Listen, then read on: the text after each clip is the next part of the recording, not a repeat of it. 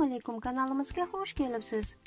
Aktrisa shahzoda muhammedova sardor mamadaliyevning klipiga suratga tushishga eri rozi bo'ldi.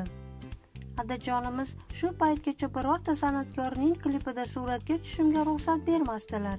Ammo do'stlari sardor mamadaliyevning yangi klipiga chiqishimga rozi bo'ldilar deb yozdi shahzoda muhammedova instagram sahifasida.